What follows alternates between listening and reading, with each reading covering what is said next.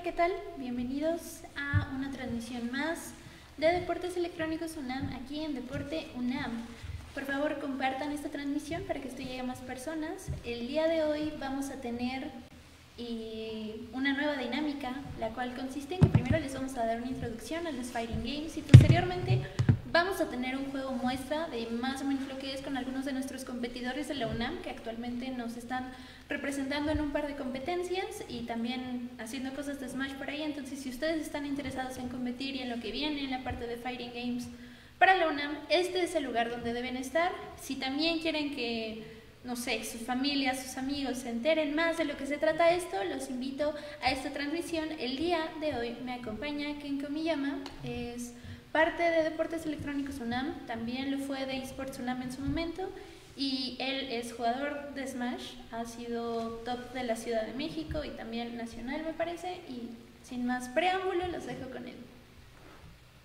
Hola, eh, pues yo soy, como bien me presentó mi compañera, soy Kenko Miyama, soy psicólogo egresado de la Universidad eh, Autónoma Metropolitana y como bien dice he estado como metido mucho en la comunidad competitiva de Smash Brothers y pues en, en deportes electrónicos también, ahí por ahí pues viendo bastantes cosas acerca de los fighting games. Yo hoy les voy a presentar pues básicamente una embarradita, una introducción muy, muy breve a lo que son los juegos de pelea, de lucha o fighting games.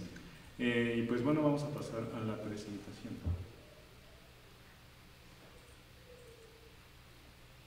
Los juegos de combate o de pelea, ¿qué son? Eh, pues bien, eh, la base de los juegos de pelea es un combate eh, uno a uno, cuerpo a cuerpo generalmente, y pues eh, como bien lo ven, se basa en la utilización de varios tipos de técnicas, golpes, este, agarres, poderes mágicos, a veces armas también, y el objetivo de estos generalmente es pues deshacerse del oponente, ¿no? Mm, en los juegos tradicionales de pelea, se usa un sistema de victoria que se basa en bajar la barra de vida hasta, los, hasta el cero. Cada personaje tiene una barra de vida y pues el objetivo de, del oponente es bajar la barra de vida del otro hasta cero. ¿no? Esto hablando de los juegos de pelea tradicionales, eh, ya que hay varios tipos de básicos, digamos, de juegos de pelea. Están los que están en dos dimensiones. Eh, ahí tenemos el ejemplo de, por ejemplo, eh, yo creo que conocen o han escuchado alguna vez hablar de Street Fighter o de Mortal Kombat, juegos que se popularizaron mucho en la década de los 90 con la cultura de, del arcade o cosas así. Em, realmente los juegos de pelea datan hasta los 70, las primeras expresiones de este género este, fueron juegos de arcade, como él los comentaba, que bueno, aquí en México los conocemos coloquialmente como, como maquinitas. Eh, estoy seguro de que muchos de ustedes han escuchado el término, incluso llegaron a jugar en alguna de estas, estaban en las tiendas, en las farmacias. Es como parte de la cultura urbana de México. Sin embargo, eh, fue hasta la década de los finales de los 80 cuando esto, este género empezó como a crecer más, a popularizarse eh, y a ser más este, como parte de la cultura popular. Precisamente porque los arcades se hicieron muy populares durante esta década. En los 90 fue cuando empezó a haber como que pues más, más consistencia en esta cultura del arcade. Eh, fue cuando surgieron juegos clásicos de peleas como King of Fighters, como eh, eh, varias versiones de Street Fighter, como el Third Strike, que es como de los más icónicos. Y pues básicamente así se fue creciendo esta, esta cultura de los juegos de pelea, de los combates uno a uno, en un ambiente muy, ¿cómo llamarlo? Un ambiente muy urbano, muy, muy, muy básico. Durante los 2000 observamos también una aparición de eh, pues ya una comunidad que jugaba en consolas debido a que pasamos de, de estos arcades, hubo más desarrollo en el, en el, ambiente de los videojuegos, sobre todo en la industria, y pues podías tener estas experiencias en, en, la comodidad de tu hogar, ¿no? Entonces empezaron a ver como pues muchos juegos que se trasladaron a, a las salas, a las casas, y pues los jugadores empezaron por ahí a desarrollar estas comunidades como de manera más familiar, en, entornos más, pues digamos, hogareños. Y pues de ahí pasamos a que, que este género empezó a diversificarse, a crecer, a, a, ver muchos tipos de juegos de peleas. Eh, tenemos los 2D, como bien les decía, son los más clásicos, pero después surgen los 2.5D que en cuestión de mecánicas funcionan muy parecido, pero los gráficos están hechos en, en tres dimensiones, eh, entonces pues suele haber ahí un poquito de influencia de eso. También eh, se introdujeron los juegos en tres dimensiones, donde pues obviamente complejizan mucho el, sistema de combate en estos juegos. Ahí tenemos ejemplos como Tekken, como Soul Calibur, eh, como también eh, iteraciones de Mortal Kombat que se hicieron en 3D. Y tenemos eh, un género pues más reciente, entre comillas, porque ya tiene su tiempecito, pero pues que sí se aleja de este como pues arquetipo básico de, lo que son los videojuegos de, este género de peleas, que es el, de plataformas. y este es lo que nos atiene el día de hoy. El juego Super Smash Bros. es como el exponente más grande de este género. Um, surgió, Smash surge en 1999, eh, ya con varias iteraciones y revisiones o secuelas, podríamos decirle, del juego. La última saliendo eh, hace dos años, ya casi, en diciembre del 2018, y es un juego que ha crecido en popularidad muchísimo porque... Eh, pues tiene, tiene esta como cualidad única de que reúne a muchas, muchas mascotas o personajes icónicos de la industria de los videojuegos y los mete en un solo juego para que combatan. Eh, aquí la cuestión específica de este género y de este juego en especial es que no se basa en esta como, pues valga la redundancia, esta base de la barra de vidas para, para determinar el sistema de victoria, sino que se basa en un, un sistema de porcentaje de daño y de stocks o vidas. El objetivo de Smash es sacar al, otro, al oponente fuera de la plataforma principal del escenario y ir subiéndole el porcentaje de daño para sacarlo más fácilmente. El jugador que quede vivo al final del encuentro pues es el que gana y tiene sus particularidades ya que los juegos tradicionales de pelea generalmente están eh, un poquito más restringidos en la movilidad, no hay tanta verticalidad en el movimiento, cuestión que es muy importante en el juego de Smash, la libertad del movimiento y la verticalidad. Eh, y también el mismo sistema de combate, pues este, digamos que propicia un, una jugabilidad más versátil, más dinámica y muy espontánea, que es como lo que atrae a la gente de este juego. Hay algo muy importante también dentro de este juego y es lo que hemos estado platicando, que cuando se convierte en deporte es cuando estamos hablando de una técnica, cuando requiere constancia, disciplina y hay reglas. Incluso Smash Bros. específicamente tiene la facilidad de tener un rule set, se le llama, a este conjunto de reglas que son específicas para un cierto tipo de competencia. Cuánto tiempo le puedes poner, la diferencia entre los escenarios, que para Smash se llaman stage, eh, etc. O sea, hay muchísimas cosas que puedes poner o quitar que pertenecen a un conjunto de reglas predeterminado que lo hace o no competitivo.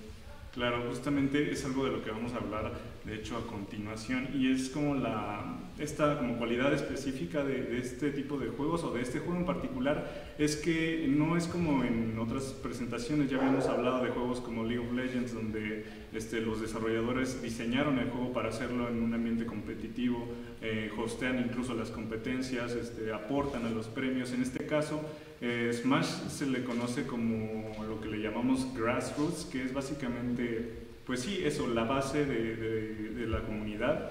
Y realmente se constituye de los integrantes de esa comunidad, no es el desarrollador, no son grandes empresas los que están apoyando esta comunidad, sino que surge desde el mismo, la afición, la comunidad que pertenece a, a esos ambientes competitivos y generalmente son comunidades con gran pasión y dedicación hacia las mecánicas del juego, tienen mucho pues, cariño digamos, por el juego y eso es lo que sostiene este ambiente competitivo. Eh, ¿Qué más podemos destacar de esto? Es que precisamente es últimamente cuando las empresas están volteando a ver a estos juegos porque ya la comunidad es muy grande, hay un apoyo y un interés muy grande desde espectadores y jugadores por ver este tipo de contenido. Y pues eh, también a la, par de estos existe que la comunidad competitiva cada vez es más seria, cada vez se convierte en una actividad de competencia muy... Es que pues hay muchos paralelismos entre el atleta y el competidor de, de, de competencias de videojuegos, de juegos de pelea en este caso, eh, pues requiere mucha mucha dedicación, mucha disciplina y mucha pasión, que es lo que vamos a ver eh, a continuación. Eh, ahí tenemos ejemplos, de hecho, de jugadores nacionales. Eh, ahí tenemos a MK Leo, a Meister, a Spargo y a Joker. Son simplemente unos ejemplos. Definitivamente MK Leo es como el exponente más grande debido a que es reconocido como el campeón mundial en este videojuego, en este eh, género incluso de platform fighters. Y pues algo que tiene, algo destacable de estos jugadores es que todos vienen de, de diferentes, este, digamos, antecedentes, todos vienen de diferentes situaciones. Sin embargo, lo que, lo que tienen en paralelo y lo que podría hablarles yo desde lo empírico es que no todos entraron a este mundo siendo los mejores. De hecho, nadie lo hizo. Eh, han tenido como carreras largas para llegar a estar donde están y ser reconocidos como jugadores de los pues, más destacados del país, incluso del mundo, ya sea con sus personajes o por eh, resultados. Eh, lo que he visto yo particularmente y personalmente en la comunidad es que han tenido un camino de mucho entrenamiento, de mucha dedicación, de mucha disciplina y yo creo que este es un paralelismo importante para ser con un deportista tradicional que pues jugar un videojuego eh, no implica digamos que solo estés como divirtiéndote o cosas así, el competidor tiene como otro tipo de enfoque acerca de la actividad del videojuego. Y hay algo muy remarcable y es que durante un tiempo Meister estuvo patrocinado por Anáhuac Esports. Anáhuac es una universidad mexicana de, que tiene sede en el Valle de México y Anáhuac Esports lo patrocinó, incluso estaba estudiando en la universidad y aún así era de los mejores del país. O sea, es posible establecer esta relación entre lo colegial y lo competitivo a un nivel deportivo profesional. Digo, Meister estuvo o está posiblemente a un nivel muy parecido al de Leo. Leo tiene más experiencia, tiene más experiencia internacional, es difícil compararlos, pero ahí va Meister y Meister es universitario. Claro, estamos hablando de pues, dos jugadores que representan al primero y al sexto lugar a nivel mundial este, en los últimos rankings que pudimos hacer dado la situación. Pero este, sí algo importante que, que querríamos destacar es eso, que la competencia no está peleada con un desarrollo académico, con un desarrollo humano incluso, porque este, algo importante destacar de, los fighting games es que requieren de mucha concentración, mucha disciplina, requieren de estar eh, bien descansado, requieren de estar bien alimentado, requieren de estar eh, anímicamente estable. Entonces, em, pues es como que romper un poquito el paradigma, este, como, como esta creencia de que, los videojuegos, de que los videojuegos están peleados con un desarrollo académico, por ejemplo. O, o, deportivo incluso, o sea, justo lo que comentabas de las comunidades, pues de dónde nace ese interés y es de la necesidad del humano de competir.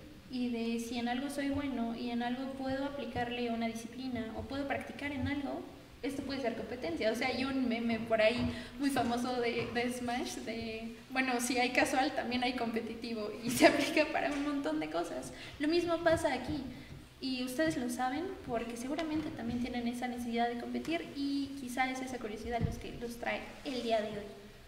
Sí, eh, pues uh, para, pues, les voy a poner un poquito eh, esta frase de uno de los boxeadores pues, más grandes de la historia, Muhammad Ali, no cuentes los días, haz que los días cuenten. Y pues lo traigo de vuelta, eh, creo que es importante decirlo. Eh, a muchos de estos jugadores los vimos entrar a la comunidad como cualquiera podría entrar en este momento, como tal vez alguno de sus familiares o ustedes mismos pueden entrar a alguna comunidad, a algún torneito por ahí en línea en estos momentos y nunca fueron los mejores desde el principio. O sea, siempre esto, esto es un proceso largo de entrenamiento, de práctica, de disciplina, de concentración, de experiencia incluso y de manejo de emociones, que es algo importante este, en los fighting games y en general en todos los juegos competitivos. Vamos a tener, de hecho, una presentación acerca de eso. De sí, la próxima semana vamos a tener aquí al psicólogo deportivo, Akira Esqueda, con ese tema, si a ustedes les interesa, cómo se controlan esas emociones dentro de un ambiente porque hay mucha presión. En los deportes electrónicos sí es algo de lo que no hemos hablado, pero lo vamos a hacer y vamos a tratar de que sea práctico este asunto para que ustedes lo puedan ver como en vivo. Claro, van a hacer regímenes de entrenamiento. Y vamos a entrenar gente. Pero bueno, pues a la creencia de también este, quisiera tocar el tema de que este género en particular eh, pues es como violento cosas así. Además de que pues ya por ejemplo, Smash es un juego súper eh, caricaturizado, súper estilizado. Mortal Kombat, por ejemplo, genera muchísima controversia porque es súper agresivo y súper visual. Claro. Entonces, ¿cuál es el impacto que tiene? Tu, tu visión de, de academia, de psicólogo, ¿cuál es Pues el es que impacto? yo, yo hablaría primero desde la visión empírica, eh, que sería este, lo que he visto en las comunidades de Fighting Games, no solo en la de Smash, sino la de, en la de Street Fighter, he estado un poquito en contacto por amigos que pertenecen a ella, también en la de Marvel y en la de Injustice y, y Mortal Kombat, que son muy, muy, este, digamos, están muy unidas, es que son redes de apoyo, o sea, lo que generas en las comunidades son redes de apoyo en, la de- en las que no solo es como de, bueno, no puedes ir a este torneo, yo te llevo, es también, bueno, este, te- hacen, hacen amistades, hacen vínculos, hacen este, pues redes en las que pueden confiar, este, lugares donde pueden estar seguros, donde puede haber desarrollo humano, donde puede haber socialización, donde puede haber todo tipo de interacciones más allá de- del juego en sí, digamos un metajuego, una relación humana de ese nivel. Eh, entonces, eh, creo que hay que un poquito desprendernos de esa idea y ver también las otras facetas que tienen estas actividades. Y pues bueno, eh, justo retomando lo que les comentaba, cualquier persona puede ser realmente buena en este juego y en cualquiera, pero requiere de un compromiso, requiere de disciplina, requiere de también un poquito de, de amor a- hacia el juego, hacia la competencia en sí. Hay muchos enfoques que se le pueden dar, pero si a ustedes les interesa integrarse en una comunidad competitiva, ya sea de- no, no solo de fighting games o de, o de cualquier otro género, creo que es fácil acercarse a los grupos, a las comunidades, sobre todo ahorita que estamos viviendo como tiempos de muchas cosas en línea, de muchas cosas cibernéticas, es fácil acercarse y pues hacer vínculos, hacer redes, hacer comunidad. La primera en la que se pueden acercar es a Deportes Electrónicos UNAM o eSports UNAM. También está FADISPORT. De hecho, cada facultad tiene un grupo donde ustedes se pueden integrar, pueden preguntar por actividades. Incluso cuando esos grupos llegan, se nos acercan, eh, por ejemplo, FADISPORTS. De pronto, ah, es que quiero hacer un torneo de Smash. Ah, bueno, le ayudamos a FADISPORTS a hacer un torneo de Smash. Porque de eso se trata, que ustedes como comunidad se integren y pidan lo que necesitan. Y nosotros les vamos a dar lo que quieren y lo que necesitan. Pero hablando de, de FADISPORTS y de Smash, yo creo que Pues estaría bien pasar Estaría ahorita bien, al, bueno. al juego de exhibición que le tenemos preparados. Esperemos que lo disfruten mucho porque vamos a tener a dos jugadorazos de aquí de la pues de la comunidad de la ciudad, Ujú. pero que también son de la comunidad este, estudiantil, ¿no? Sí, pues que, o sea, aparte de ellos, les tengo que presentar a alguien más y yo en este momento los voy a dejar un momento porque los voy a dejar con Gerardo Arauz, que es una persona que ha aportado muchísimo a la escena de Smash, también a la UNAM, y en su momento hizo grandes cosas, entonces los dejo con él para que se presente un poco, nos diga ahora. nos diga ahora. Hola, ¿qué tal? Yuki, Ken, ¿cómo han estado? ¿Todo bien? ¿Todo bien? Bien, bien. Háblanos un Bien. poquito. Qué bueno, este, la verdad estaba escuchando lo que nos estabas comentando de que estabas haciendo énfasis en la creación de comunidad, grupos de apoyo, y creo que es algo muy importante de, de hacer énfasis, ¿no? Porque justamente muchas personas han conocido a sus mejores amigos ahí, han, han creado, como dices, vínculos muy fuertes, que como dices, hay veces que alguien necesita ayuda, alguien está en una situación difícil, y, y es alguien que te está apoyando, ¿no? Es alguien que, en el que es como tienes un amigo en quien confiar, así como dice, este, tendrás un amigo en mí, como el genio de la lámpara o cualquier otra película de Disney, así llega a pasar, ¿no? Y bueno, pues ahorita me da mucho gusto estar hablando de esto de la, de la UNAM, porque en nuestro momento, bueno, Ken estuvo ahí también cuando se hacían las crubaros intercolegiales, ¿no? Que éramos ITAM, el TEC de Monterrey, eh, la Anáhuac creo que no se presentó en esos momentos, pero sí, pero sí la UNAM, el Politécnico, y se hacían crubaros en el UNAM, que es una crubaro, tomabas cinco o seis jugadores de un equipo, en este caso una universidad, y peleaban hasta que se acababan todas las vidas de todos los jugadores, ¿no? Eh, orgullosamente puedo decir que el equipo UNAM ganamos tres veces seguidas, las tres que se hicieron las ganamos, y, más que nada era porque a lo mejor no teníamos los jugadores más fuertes, pero siempre tuvimos un equipo muy balanceado. Cualquiera que, por ejemplo, si, si por alguna razón un jugador fallaba o se enfrentaba a un jugador más fuerte, todo el equipo podía cargar con ese peso y decir, ok, vamos a distribuirnos el peso de todo el acrobaro entre, entre todos y crear una estrategia ganadora, ¿no? Eh, yo, con, yo, entré en contacto con eSports UNAM justamente porque en FEMES me di cuenta que estaban haciendo un torneo aquí en UNAM y yo tenía el trofeo de las Crubaros, así que dije, ok, este trofeo no es mío, no es del mejor jugador, no es del manager del equipo, es de la UNAM, ¿no? Y justamente fui a entregárselo a Yuki como, como siguiente representante de, para que tomara la estafeta de eSports UNAM. Tenerlo ahí, ya. Ahí está el primer trofeo que tenemos. Pero hablando de jugadores, ¿qué te parece si presentamos a las personas que vamos a tener el día de hoy jugando en este juego de exhibición? Ok, ok. Uh, ahí están Dracoco y Mancha. Ya los tenemos, jugadores muy conocidos aquí en la comunidad. Muy buenos jugadores. Mancha, un Yoshi fenomenal. Ni se diga de Dracoco también. Eh, no voy a decir todos sus personajes. Su Zelda es la más conocida, su Link también, pero tiene un Hero, tiene cualquier personaje que te puedas imaginar lo puede jugar, así que... que se presenten ellos, Gera, ahí tienen el microfonito, y están listos para hablar. A ver, Dracoquito, por favor. Ah, hola, soy Jorge Cisneros, me conocen en la comunidad como Dracoco, pues es mi tag. Digamos que en la comunidad todos usamos un, un tag. Y pues bueno, yo soy un jugador de principalmente de la Facultad de Artes y Diseño. Yo soy organizador de torneos en la facultad, he hecho ya dos con pues, bastantes participantes. Eh, ahorita soy un cofundador de una liga de torneos este, interuniversitaria que estamos armando junto a la Universidad La Salle, Anáhuac, TEC de Monterrey, eh, el Politécnico Nacional. Entonces, eh, bueno, pues ahí tenemos un poco de la amistad ¿no? de la que estamos hablando en la conferencia.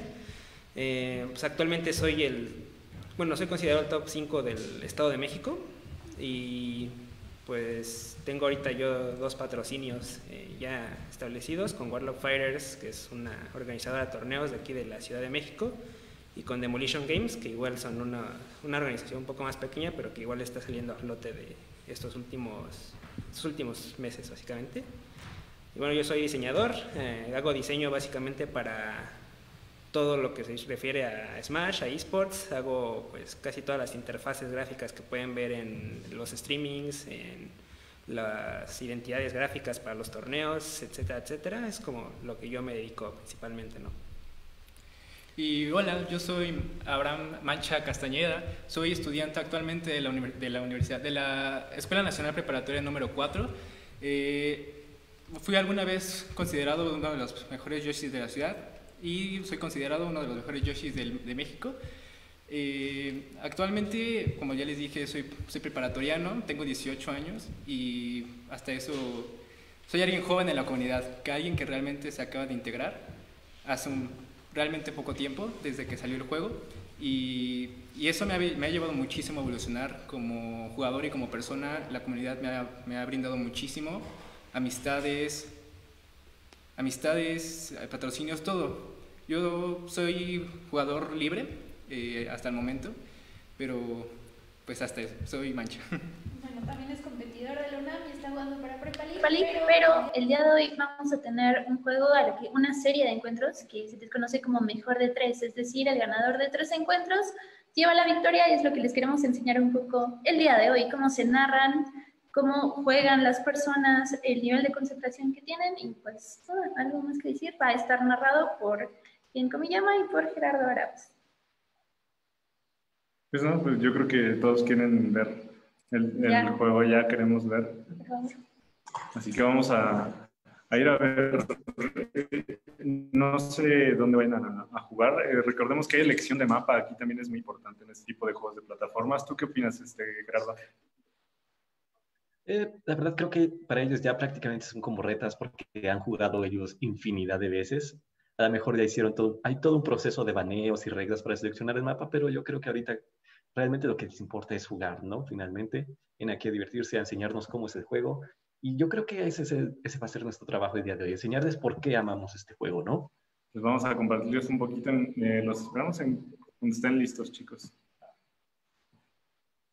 Iniciamos. Seamos Zelda contra Yoshi, se van a ir con sus personajes clásicos sin ningún otro problema. Pokémon Stadium 2, este, este escenario neutral con dos plataformas a los lados y un gran valle central, que esto le permite este, tener una posición defensiva justamente donde está Dracoco, pero excelente. Mancha está atacando, manteniendo la, ofensiva. Y esto se conoce como Trap. Que está buscando ahí. Eso, ¿no? Yo creo, porque son dos personajes que, bueno, eh, Yoshi tal vez quiere pues combatir mucho cuerpo a cuerpo, estar muy, muy cerca de, Zelda, porque Zelda lo que quiere es todo lo contrario, ¿no? Estar, estar un poquito afuera, tal vez en el momento en el que encuentre pues fuera de balance a, a Mancha va a querer entrar, pero la mayoría del tiempo va a estar echando esos proyectiles. Exactamente, el caballero eh, convoca a un caballero que lo puede cargar y puede justamente cubrir una gran parte del escenario. Nuevamente ese reflector que Bancha estuvo perfectamente, lo esperó y, decidió castigar. Ahorita está en porcentaje de muerte esta celda, así que debe tener muchísimo cuidado que no le, no entre un golpe fuerte de Yoshi. Sí, me parece que Mancha no tiene un porcentaje tan alto, entonces tiene que cuidarse un poquito ahí de los, de los ataques más fuertes de Yoshi, como esa patada hacia arriba que lo saca del escenario por completo. Sí, exactamente. Eso es, un, eso es un que yo, eso significa que perdió el primer stock, así que ahora Dracoco está en una desventaja considerable, porque usualmente esto se va como bola de nieve si no tienes cuidado, porque empiezas con una ligera desventaja y ahorita Mancha va a tener que usar esa vida que le queda para sacar todo el crédito extra que pueda. Eh, ¿Movieron la cámara, al parecer? Un poquito, pero bueno, yo creo que sí tienes mucha razón en eso. Eh, eh Dracoco eh, pues tiene que ahorita jugar tal vez un poquito más apretado. me parece que ya le quitó la primera vida a Yoshi, lo que nos lleva pues a igualdad de vidas, tal vez un porcentaje, pero pues se ve un poquito más parejo de nuevo. Sí, nuevamente, este crédito extra que sacó Mancha está perfecto. 80% de daño no es nada para reírse y es algo para que tener muchísimo cuidado. Me encantó esa, esa, esa reacción, fue increíble ese setup. Lanzó un huevito leyendo el salto. Él dijo, voy a predecir que vas a saltar en este momento y aquí el, huevo la, mandó en un knockdown, la tiró sobre la plataforma y tienes solo la opción de levantarte, así que voy a cargar un smash attack y te vas a ir volando, ¿no? Le hizo un jaque mate tremendo. Claro, esa, esa cobertura de opciones donde ya no le quedaba a dónde escaparse. Y mucho de este juego se trata de eso, ¿verdad? Este, Ger, es un poquito de predecir el movimiento del oponente y pues de irle quitando opciones poquito a poquito para, pues, para salir adelante. Exacto, tú que eres psicólogo sabes perfectamente bien de eso, ¿no? De condicionamiento, eh, ya sea operante o de Pavlov, tú lo sabes, ¿no? pues estamos viendo ahorita que le está costando un poquito de trabajo a Dracoco traer esto de vuelta. Estamos en la segunda stock menos de mancha y ahí, eh, no, no, no, no puedo ver bien las stocks, pero me parece que están nivel. Eh, Sí, algo así, pero uy, nuevamente aquí, excelente el par de huevito. Y vemos ahorita que Mancha está teniendo cierta dificultad para entrar, pero no hay problema realmente con eso porque Mancha va ganando, ¿no? No tiene ninguna razón para, para entrar y si quiere él puede gastar el tiempo del reloj. Así que está excelente que sea cuidadoso. Una conversión de proyectil a un fer o a un narizazo de esos de Yoshi. Ya tenemos el tercer up smash. Está conectando bastante bien esas patadas este Yoshi. Y pues a pesar de que Dracoco de repente encuentra uno o dos hits, eh, tiene que quitarle stop ya si quiere traer esto de vuelta. Uy, ese forward smash casi se lleva el stock de Dracoco por poquito. O sea, lo, terminó rozando. Bien, excelente. El backer, y esto va a ser todo. Esto va a ser todo. Es, ese movimiento hacia atrás pega fuertísimo ese aéreo y es uno de los principales skill moves de Yoshi, ¿no? Así que vamos a estar 1-0 a favor de este mancha. Dracoco, vamos a ver si mantiene su estrategia con Zelda o decide cambiar a otro personaje. A ver, eh, pues como bien lo decías, tiene eh, un repertorio amplio y, y, variado de personajes. Yo creo que podremos ver a otros. vamos a ver, vamos a ver al clásico Link. De hecho, fue el personaje con el que conocí a Dracoco en ese mítico torneo de la paz. Vamos a ver qué tal lo saca a relucir en este matchup. Y me parece una buena decisión. Eh, creo que Link tiene más herramientas para luchar contra el dinosaurio rosado que es Yoshi. Estamos ahí en Pokémon Stadium de nuevo. Sí, finalmente ahora entra algo que mencionaste en la presentación, que es que decías que este, Link tiene una espada, ¿no? Entonces, esta espada le va a dar una ventaja sobre Yoshi que ahora no puedes golpear una espada, así que cualquier interacción de Yoshi contra la espada va a ser un golpe a favor de Dracoco, ¿no? Claro, aquí tienen que usar sus diferentes herramientas. Eh, como podemos ver, este es un juego con pues, personajes variados. Todos tienen herramientas distintas. Ahí, ahorita tenemos a un Link con una espada, con un boomerang, con arco y flecha, con este, bombas remotas, muchas cosas contra las que pues Yoshi puede estar este, dificultándosele un poquito ahorita entrar a comparación de lo que era Zelda, ¿no? Exactamente, vamos a ver a Dracoco tirando un poquito de movimiento avanzado. Vimos algo que se llama Wave Bounce, que eh, prácticamente estás eh, modificando la dirección de tu movimiento al hacer algunos inputs precisos. Claro, claro. falló. Muy, este, También muy, muy sencillo. Eh, está lleno de técnicas avanzadas. Eh, es muy fácil de, de, agarrar por primera vez el juego, es muy fácil de controlar, de meterse pues, algunas partidas, pero es difícil de, de masterizar, como dicen por ahí, de, de, amaestrar. Sí, exactamente, dominar el juego, este, como, dice, como bien dijiste hace eh, unos momentos, ¿no? Este es un juego que se enfoca muchísimo en el movimiento y creo que es lo primero que tienes que aprender, ¿no? Después eso tal vez vendrían los combos, porque en este juego incluso tú eres una amenaza para ti mismo si no sabes recuperarte. Excelente el stock. Claro, ahí eh, por fin eh, cobra la stock eh, mancha con ahí, creo que me parece que fue el golpe hacia abajo, da dos coletazos hacia los lados y pues te puede llevar muy fácilmente por el ángulo en el que te arroja. Sí, un ángulo totalmente horizontal, muy difícil recuperarse de eso, la verdad. Necesitas una recuperación de muy pocos personajes pueden lograrlo. Y, pero me gusta ver que a pesar de que Link tiene una espada, este mancha nos está echando para atrás y dice, ¿sabes qué? Yo sé que uy, no, vi casi no. está entendiendo que lo mejor que puede hacer es acercarse y mantenerlo en un rango donde la espada no funcione, ¿no? Claro, eh, justo cuando, o sea, la espada te da rango, pero no te da velocidad, y eso es lo que está aprovechando Mancha en este momento. Sin embargo, se lo lleva ahí con el espadazo left al otro lado del escenario, hacia la izquierda, quitándole el segundo stock, me parece, no sé si es el primero. Excelente. Y Mancha, un jugador muy paciente, ¿no? A pesar de que su personaje técnicamente es muy agresivo, él está esperando justamente ese momento oportuno para entrar y explotar, hacer la mayor cantidad de daño eh, inmediato, ¿no?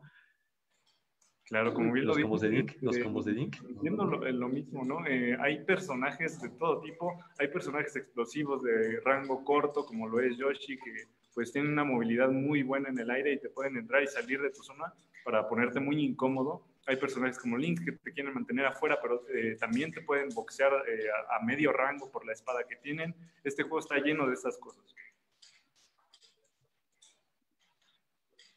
Ahí tenemos, tenemos un juego.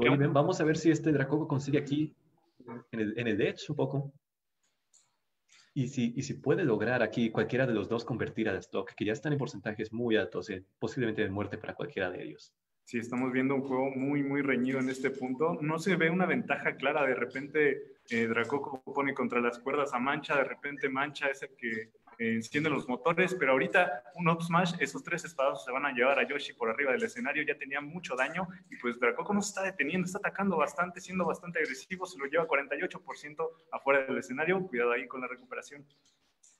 Bien, excelente la recuperación. Y justamente me gusta cómo Dracoco está usando eh, la, movilidad aérea de Yoshi para en su contra. ¿no? Está, si lo está brincando en las plataformas con una bomba y cada vez que Yoshi quiere acercarse, ¡pum!, le suelta la bomba que va a interrumpir cualquier aproximación y en este momento, como estamos viendo, eh, lo mantiene afuera del stage. Uy, ese era un confirm que falló y creo que se mancha se ve un poco desesperado por matar, ¿eh? Sí, ahorita ya en estos porcentajes con esa desventaja es difícil mantener la compostura, justo lo que hablábamos hace ratito. Eh, pues ahorita Dracoco está manteniendo la ventaja muy bien, no está dejando acercarse a ese dinosaurio, pero por fin se resbala un poquito Yoshi, le mete el cabezazo ahí sacándolo del escenario.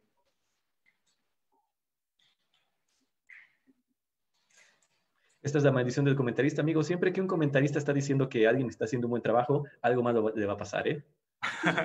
Siempre ocurre, pero bueno, ahí Dracoco se defiende con el up smash. ¡Uy! Le metió la bomba, no alcanzó a matar. Uy, el sniper. ¡Uy! Lo va a vivir. Al dragoncito le gusta cenar, está pesadito. pero es puro músculo, es puro músculo, es puro músculo, no se crean. ¿eh? Sí va a conseguir cerrar la stock, esto dándonos un uno a uno en este segundo enfrentamiento. Bien, uno a uno, o sea que esto se va a decidir en este último juego, en el, en el mejor de tres, en el tercer juego. Perfecto. Claro, qué, buena presentación, nos están dando una exhibición excelente, precisamente de counter, bueno, de, es que no hay, no hay, hay, hay, ciertos términos que a veces este, usamos en la comunidad que sí son como muy raros, como counter pick, pero nos referimos como a elegir algo, pues, para contrarrestar, claro, al enemigo. Y pues lo vimos ahorita con el personaje, parece que le funcionó bastante bien a Dracoco, nos vamos al juego 3 aquí, igual en Pokémon Stadium, a ver qué pasa, Gerardo. Sí, eh, yo creo que ahorita dijo Mancha, ¿sabes qué? No me ganaste, yo perdí. Creo que me equivoqué y me puse muy desesperado porque empecé ganando yo, ¿no? Entonces, te voy a regresar aquí al mismo escenario. Creo que tengo las habilidades para ganarte aquí. Claro. Uy, excelente. Me encantan, me encantan los resets que tiene Dracoco. Sí, sí, es muy bueno. Y, sabe en qué momento detenerse, eh, bajar la ofensiva para que baje la guardia mancha y en ese momento volver a, a prender los motores para atacar. Exactamente, es como si estuvieras jugando uno y es como tiras tu carta, esperas un momento y pum, le tiras el más uno, le tiras el reversa, le tiras el skip. Es, es casi lo mismo, el mismo concepto. Sí, sí, sí, es un juego de turnos. Este, muchas veces no, no lo pareciera porque pues, es muy rápido, pero se puede reducir a eso. Es un juego de saber cuándo atacar, cuándo defender y cuándo estar como que jugando un poquito más tranquilo. Coco nos lo está mostrando bastante bien, ahí se lleva el stock temprano. Y pues vamos a ver si Mancha se defiende porque lo está haciendo bien con el porcentaje, pero tiene que concretar los stocks para poder ganar. Sí, me gustaría ver más este, un, un game plan de, de, Mancha, de que decida sacar a Link fuera de stage. Exactamente, eso mismo, que, que haga un desguard, ¿no?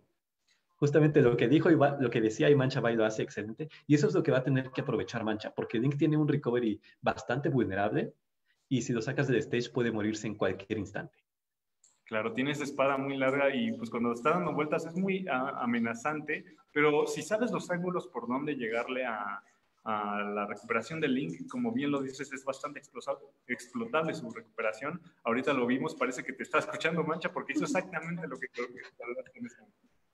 Sí, y, mira, tenemos otra vez otro juego Even que empezó ganando Dracoco. Mancha dijo, ¿sabes qué? Creo que ya entendí qué es lo que tengo que hacer y ahora es mi turno. Ahora es mi turno de ganar, ¿eh? Vamos a ver, la situación en la plataforma, excelente el uso de la bomba para conseguir un tech chase, una persecución ahí en la plataforma. Cuando caes en una plataforma al suelo, tienes que apretar el botón de escudo para rodar a cualquiera de los lados. Uy, las conversiones y Dracoco se está comiendo muchísimo daño.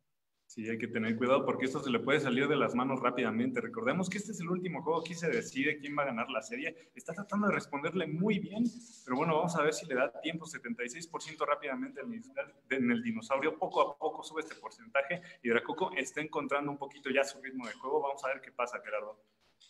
Excelente, vamos a ver. No hubo nerf fuera del escudo, está esperando porque sabe que esa patada aérea de Link es segura, o sea, es positiva en el eh, no es positiva en escudo, pero sí es muy segura. Uy, excelente la conversión del, del boomerang a la bomba. Y ahora Mancha está en una situación muy precaria porque la bomba en la orilla, la espada, todo se confabuló para que en ese momento Mancha no tuviera ninguna otra opción.